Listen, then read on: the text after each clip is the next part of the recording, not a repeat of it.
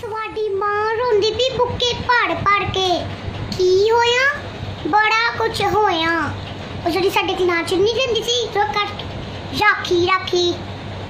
ਕਮੇਟੀਆਂ ਵਾਲੀ ਜਿਹੜੀ ਤੁਹਾਡੀ ਮਾਂ ਦੀ ਨੂੰਹ ਬਣੀ ਹੋਈ ਸੀ ਚੋਰ ਗਈ। ਲੋਕਾਂ ਦਾ ਪੈਸਾ ਮਾਰ ਕੇ ਰਾਤੋਂ ਰਾਤ। ਸਾਨੂੰ ਕੀ? ਉਹ ਸਾਨੂੰ ਤੇ ਸਭ ਕੁਝ ਹੈ।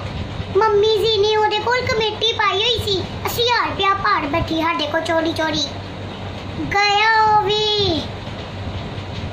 ਖਬਰਦਾਰ ਜੇ ਫੋਨ ਰੱਖਿਆ ਤੇ ਚੁੱਪ ਕਰਕੇ ਮੇਰੀ ਗੱਲ ਸੁਣਦੇ ਜਾਓ। ਮਟਰ ਵਾਲਾ ਸੀ ਨਾ ਚਾਰ ਤੋਲਿਆਂ ਦੀ, ਜਿਹੜੀ ਮੇਰੀ ਗੱਲ ਚੁੱਲੇ ਸੀ ਤੁਹਾਡੀ ਮਾਂ ਨੇ। ਲੰਮਕ ਜਾਏਗੀ, ਲਿਆ ਫਰਾ ਮੈਨੂੰ ਇਧਰ, ਰੋਜ਼ ਰੋਜ਼ ਦੀ ਪਾਣੀ ਉਹਨੂੰ ਦਿੱਤੀ ਹੋਈ ਸੀ, ਉਹਨੇ ਵਿਆਹ ਜਾਣਾ ਸੀ, ਆ ਕੇ ਦੇ ਦਿੰਦੀ। ਪੈ ਗਿਆ ਭੋਗ ਹੁਣ ਉਹਦਾ ਵੀ, ਹੈ?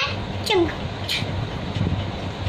ਉਹਨੂੰ ਨੂੰ ਬਣਾਇਆ ਸੀ ਨਾ ਤੁਹਾਡੀ ਮਾਂ ਨੇ, ਜਾ ਕੇ ਉਹਨੂੰ ਜੱਫੀਆਂ ਪਾਉਂਦੀ ਸੀ।